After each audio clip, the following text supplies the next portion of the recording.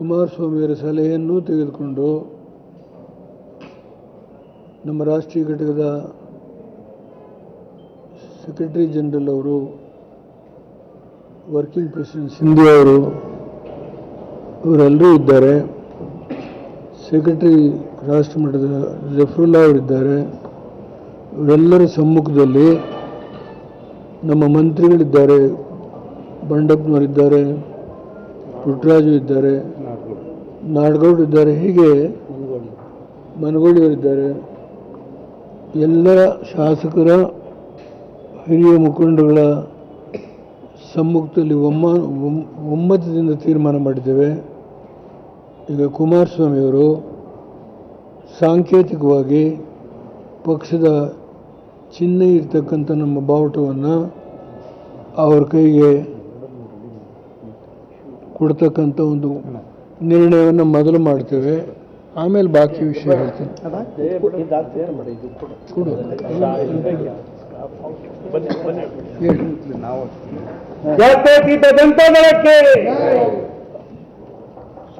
ಈ ತಗೊಳ್ಳಿ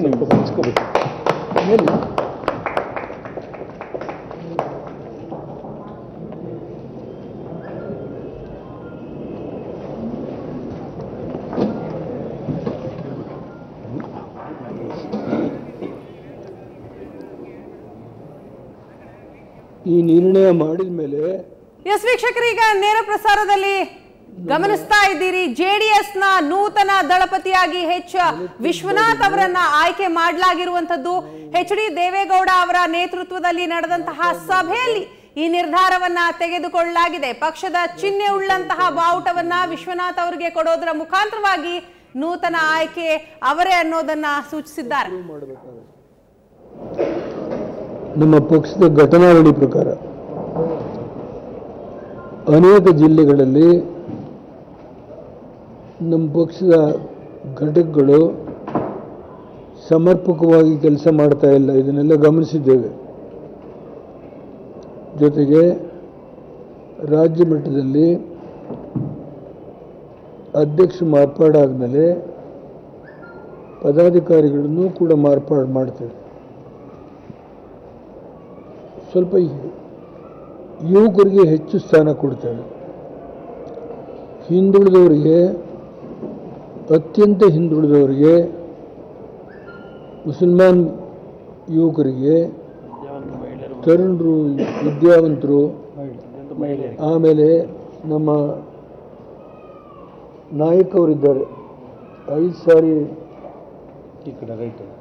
ಮಂತ್ರಿಗಳಾಗಿ ಬಂದಿದ್ದಾರೆ, ಅವರು ಕೆಲಸ ಮಾಡಿದ್ದಾರೆ, ಹಿರಿಯರು. ರವಿ ನಾಯಕ್ ಅವರು, ರವಿ ನಾಯಕ್ ಆ ಸಮಾಜದಲ್ಲಿ ಐದು ಸಾರಿ ಮಂತ್ರಿಗಳಾಗಿ ಕೆಲಸ ಹಿರಿಯ ಮುಖಂಡ. ಈ ಎಲ್ಲ ಸಮಾಜಗಳನ್ನು ಗಮನದಲ್ಲಿಟ್ಟು ಸಂಪೂರ್ಣವಾಗಿ ಯುವಕರನ್ನೇ ಗುರುತಿಸ್ತೇವೆ. ಹಿರಿಯರಿರ್ತಾರೆ ರಾಜ್ಯ ಮಟ್ಟದ ಕೆಲವು ಸ್ಥಾನಗಳಲ್ಲಿ ವರ್ಕಿಂಗ್ ಪ್ರೆಸಿಡೆಂಟು, ಸೆಕ್ರೆಟರಿ ಜನರಲ್ಲು ಹಿರಿಯ ಉಪಾಧ್ಯಕ್ಷ ಇಲ್ಲ ಕೆಲವು ಸ್ಥಾನದಲ್ಲಿ ಇರ್ತಾರೆ. ಅವರೆಲ್ಲವನ್ನು, ಅವರೆಲ್ಲರನ್ನು ವಿಶ್ವಾಸಕ್ಕೆ ತೆಗೆದುಕೊಂಡು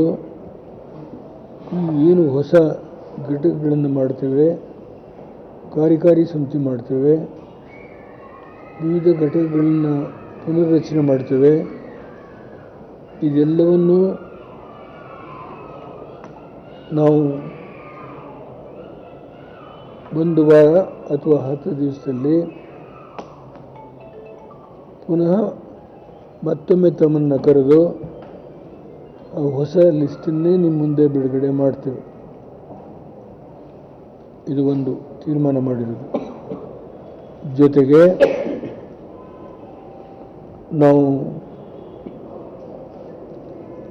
ಹನ್ನೊಂದನೇ ತಾರೀಕಿಂದ ಹನ್ನೊಂದು, ಹನ್ನೆರಡು, ಹದಿಮೂರು, ಹದಿನಾಲ್ಕು.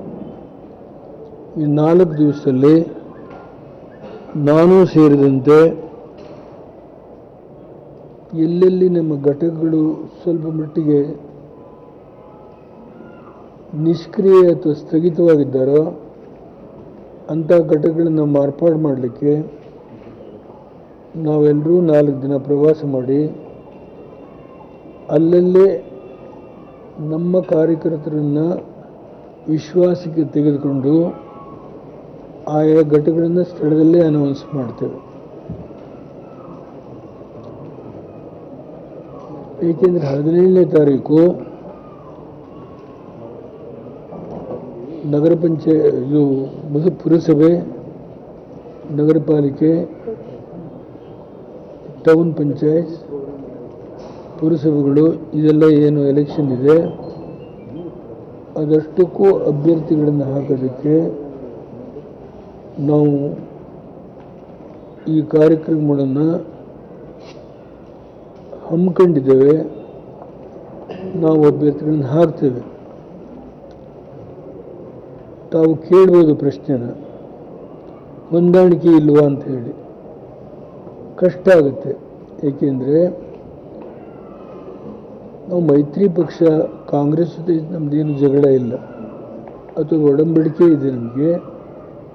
ರಾಜ್ಯ ಮಟ್ಟದಲ್ಲಿ ಮೈತ್ರಿ ಸರ್ಕಾರ ಯಾವುದೇ ರೀತಿಯ ಅಪಾಯ ಬರದಂತೆ ನಡ್ಕೊಂಡು ಹೋಗುತ್ತೆ. ಆದರೆ ಅವ್ರಿಗೂ ಕಷ್ಟ ಇದೆ. ಇಷ್ಟೊಂದು ಸ್ಥಾನಗಳನ್ನು ಹೊಂದಾಣಿಕೆ ಮಾಡಿಕೊಡೋದು ಕಷ್ಟ ಆಗುತ್ತೆ. ನಿನ್ನೆ ಅವರು ಚರ್ಚೆ ಮಾಡೋದು ನಾನು. ಅದರಲ್ಲಿ ಯಾವ ದೋಷ ಇಲ್ಲ. ಅದನ್ನು ನಾವು ಕೂಡ ಈ ವಿಷಯದಲ್ಲಿ ಪ್ರತ್ಯೇಕವಾಗಿ ನಾವು ಮಾತು ಕ್ಯಾಂಡಿಡೇಟ್ ಹಾಕಿದ್ರು. ಪರಸ್ಪರ ನಮ್ಮಲ್ಲಿ ಯಾವುದೇ ರೀತಿಯಾದಂಥ ತಿಕ್ಕಾಟಗಳಿರಲಿಲ್ಲ. ಚುನಾವಣೆ ಸೌಮ್ಯವಾಗಿಯೇ ಸೌಹಾರ್ದಯುತವಾಗಿ ನಡೆಸ್ತೇವೆ. ಯಾರು ಗೆಲ್ತಾರೋ, ಯಾರು ಸೋಲ್ತಾರೋ, ಅದರಲ್ಲಿ ಬಿ ಜೆ ಪಿಯವರು ಕಂಟೆಸ್ಟ್ ಮಾಡ್ತಾರೆ. ನಾವು ಮಾಡ್ತೀವಿ. ಡಿ ಇದು ಕಾಂಗ್ರೆಸ್ಸು ಮಾಡ್ತಾರೆ, ಇಂಡಿಪೆಂಡೆನ್ಸು ಮಾಡ್ಬೋದು. ಅದರಿಂದ ಸಂಘರ್ಷಕ್ಕೆ ಅವಕಾಶ ಕೊಡೋದ ರೀತಿ ಸೌಹಾರ್ದಯುತವಾಗಿ ರಾಜ್ಯದಲ್ಲಿ ಚುನಾವಣೆ ನಡೀಬೇಕು ಅನ್ನೋದೇ ನನ್ನ, ನಮ್ಮೆಲ್ಲರ ಆಶಯ. ಈ ಸಂದರ್ಭದಲ್ಲಿ ಕುಮಾರಸ್ವಾಮಿ ರಾಜ್ಯಾದ್ಯಂತ ಪ್ರವಾಸ ಮಾಡೋದು ಕಷ್ಟ ಆಗುತ್ತೆ.